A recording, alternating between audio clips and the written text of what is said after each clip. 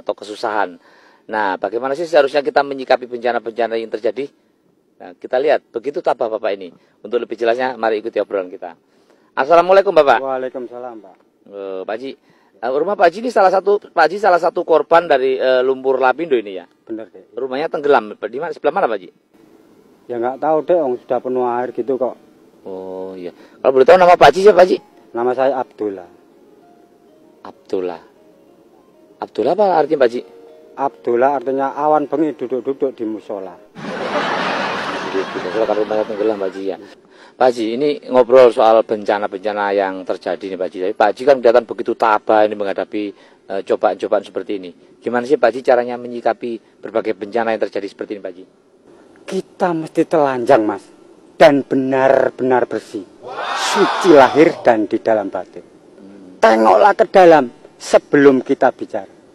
Singkirkan debu yang masih melekat. Ho, ho, ho, ho. Singkirkan debu yang masih melekat. Eh, maaf Pak Haji, ini kan orang lain ini eh, sementara itu eh, merasa sedih karena mendapat bencana seperti ini. Sebab memang bencana ini kayaknya nggak pernah ada intinya gitu Pak Haji. anugerah dan bencana adalah kehendaknya. Kita mesti tabah menjalani. Hanya cambuk kecil agar kita sadar. Adalah dia di atas segalanya. Oh. Adalah dia di atas segalanya.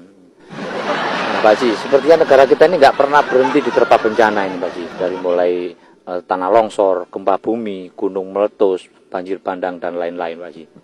Bukan hanya itu mas. Anak menjerit-jerit. Asap panas membakar. Lahar dan badai menyapu bersih. Nah, ini apa? Karena memang ini kita sedang dihukum oleh Tuhan barangkali Pak Haji. Ini bukan hukuman. Hanyalah satu isyarat bahwa kita masih banyak berbenah. Ho, ho, ho, ho. Bahwa kita mesti banyak berbenah. Benar Pak Haji. Memang kalau kita kaji lebih jauh dalam kekalutan, masih banyak tangan yang tega berbuat nista Pak Haji. Ho, ho, ho, ho. Masih banyak tangan yang tega berbuat nista. Bung Arun, silakan Bung, dilanjut Bung. Sebelah saya ini ternyata Ustadz Ebit Bung.